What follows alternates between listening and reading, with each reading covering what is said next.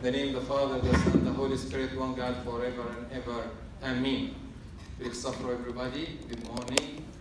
May God bless you all and bless your life and be with you.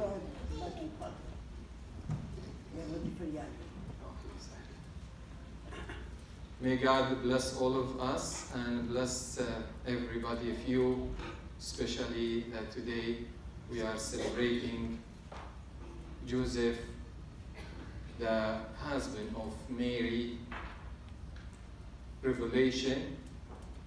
And when the angel came to him in the dream, he told him that the baby who is with Mary is conceived by the Holy Spirit, and he should call his name Jesus because he will save his people. And actually, word Jesus or Yeshua, it means God is saved. And also, he said his name will be Emmanuel, which is translated God with us. So I ask our Heavenly Father to be with you and to open our hearts so we can accept him, all of us, as Joseph did, and he became our Savior because this is his name. So if we want to really to become Christian, to become a true followers of Jesus, number one, we have to accept him because his name is God saving. So we should accept him in order to save us and to be our Savior and our God. But when we talk about revelation of Joseph, actually we talk about a righteous man. And this man, actually the Bible does not talk about him a lot. And not only that, surprisingly, Joseph did not say any single word or the Bible or the Gospel did not record any single word to Joseph. Joseph did not talk anything as the Bible telling us. But at the same time, Joseph, he played very important role in the journey or in the life of Jesus Christ. So I will talk a little bit about Joseph and how the Bible described him. Actually, number one thing the Bible said that Joseph, he was a just and righteous man. Come.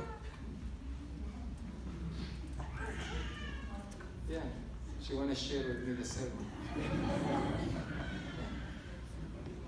so the Bible said that Joseph, he was a righteous man.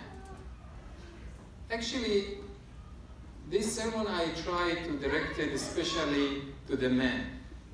Because Joseph is a man, and we can see from his character how important person was, and not only that, what did this person do in order to be worthy to raise up Jesus when he came to this earth.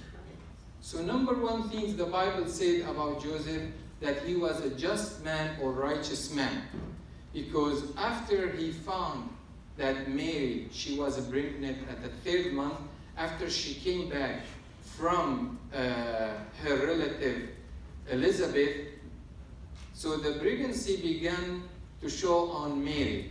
So this man, who is Joseph, he began to see this change in Mary's life. And he knows, according to the law of Moses, if he will say that this baby is not from me, they will stone Mary till death.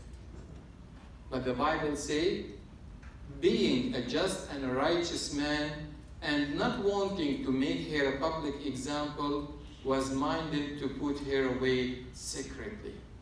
Number one thing, I think every single man should uh, have is to be righteous person. What does righteous it mean?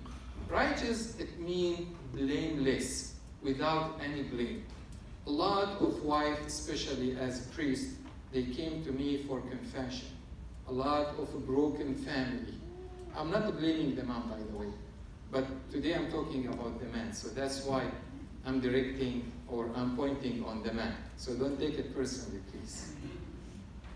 So righteous, it means blameless, without any blame. That means you are pure heart.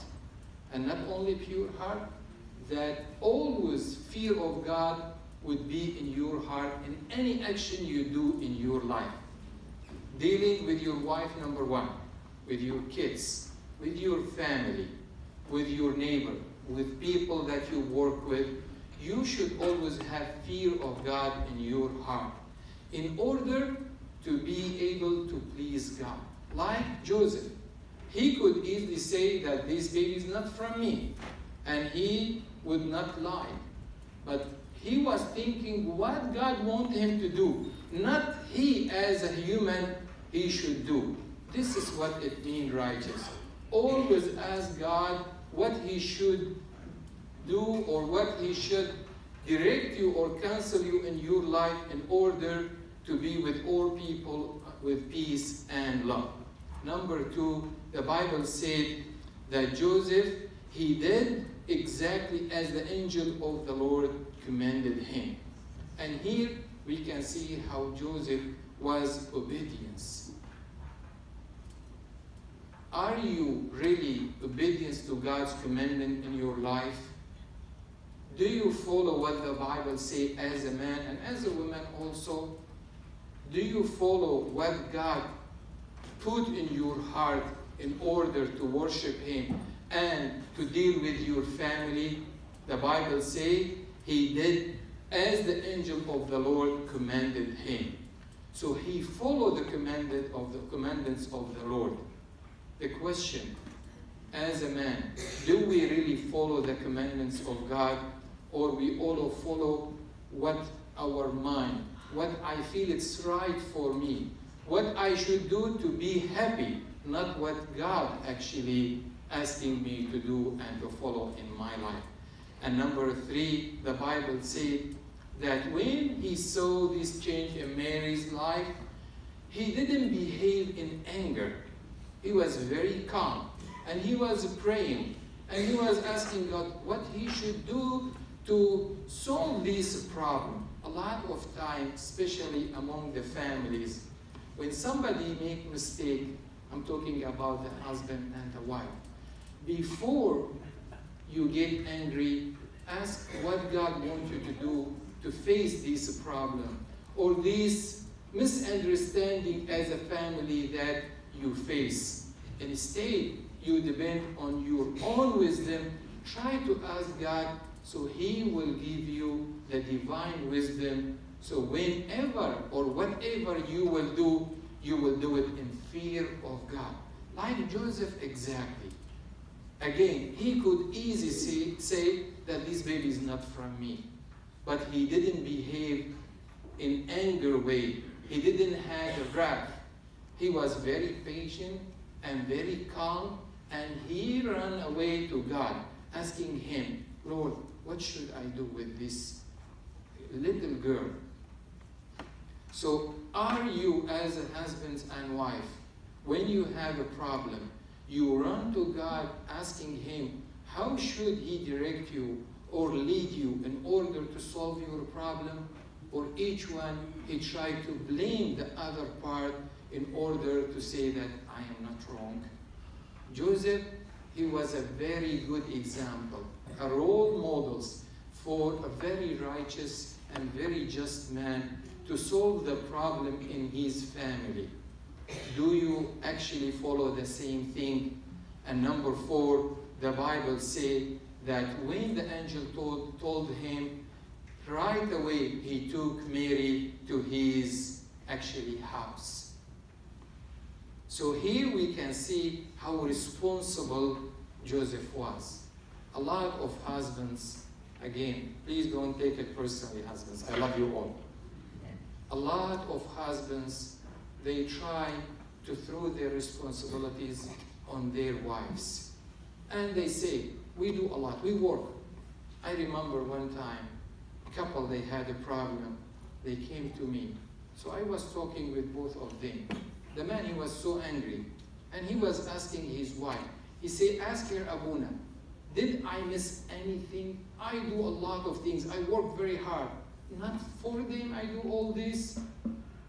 I actually was looking to the wife what she would answer. She said, yes, Abuna, but I don't only want the money. The money is very important for me, for me, but I want him to take responsibility with me, raising the kids, taking care of the home, and all the social activity or anything with the family. I want him. I like to have him with me. As example, she said, he worked on Sunday. When I go to the church, I go by myself. She said, I got tired to go to the church with myself. I love to go like all the families, husbands and wife and the kids. All of us, we go and worship God and pray together. I think Joseph, he was the perfect example for the man. When he heard the commandment of God from the angel, he took this responsibility very well and he raised up Jesus and he took care of Mary.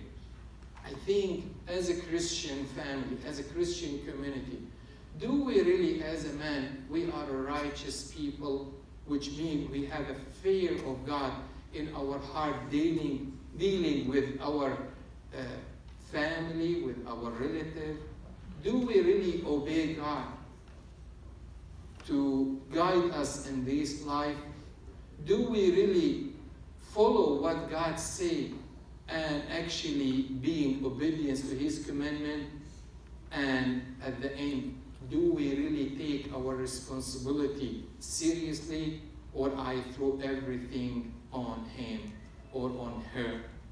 I ask our Heavenly Father to open our heart and to know that the family is not 50-50. A lot of couples, they came to me when I do counseling to the couples, we call the pre-cana or Christian counseling before the marriage. They came to me excited, happy. They say, Abuna, I'm going to do 50% of what I have to do as a husband or as a wife. And they are very happy and they agree on that, not knowing that the Bible does not tell us to only play 50% of your role, but you have to do 100%. And she also has to do the same thing. Because when the couples get married, they become one body. There is no 50-50. There is perfect 100% from him and 100% from her. And then they can have this Christian family where the kids will grow up in fear of God and also they will be good uh, follower to Christ. We have to understand something very important. Joseph, again, did not say any single word. This is what the Bible records for us. But at the same time, because of his righteousness, he was able to be the physical father of Jesus Christ. Because of his, his faith, he received the blessing and he received big honor among all the men maybe of the earth. A lot of us, we do other way around. We tell us, we tell God this statement, God, do something to me and I will have strong faith in you. Unlike Joseph, he was walking in fear of God and in faith, and because of his faith, he received the blessing. So I encourage everybody, and especially the men, please walk in the fear of God. Be righteous person to your family, just person. Be obedience to God's commandment. Take your responsibility right and correctly, and do all that in faith, and you will see miracle in your family. Don't blame others. Don't think that some person else, a lot of people, by the way, even they blame the church. Why the church does not do anything enough for our kids? You have to take this responsibility. Because you only come to the church how many hours during the week? Two, three, four? What about the rest of the week? But if you are a righteous person, you will receive a blessing in your family, then the whole church will be blessed, and the whole church will be the real body of Christ, and the whole church will be one day responsible to share the good news with everybody around the world. I ask our Heavenly Father that all of us we live in faith, we live in modesty, we live the life of righteousness, and we will see the blessing in our family. I encourage all of you, and especially the man, to meditate in Joseph's life, to see how righteous person he was, and because of that, he was able to be very important figure in the story of salvation. Of course, before the Christmas, we talk about Mary, we talk about John the Baptist, we talk about all the event that happened before Jesus' birth. But we don't give this man actually enough time. So that's why today I want to talk about him and encourage you, the man especially, to take him as a pattern, as a role example, role model for your life. He was very calm, but he had very strong faith. He did not do anything, but he listened to God. He did not actually behave any way wrong, but he was actually very obedient to God's and he took his responsibility right. I encourage all the men to ask Saint Joseph to bless their life and above everything, I ask our Heavenly Father by the Holy Spirit to open our heart and to review ourselves as a man, especially again, so we can be a righteous husband, so we can be blessing to this family, and in order to worship as a family, all of us, God together. May God bless you all. بشمدابو ودبرو ودروحي وقاديشو حاضلو وشاريرو آمين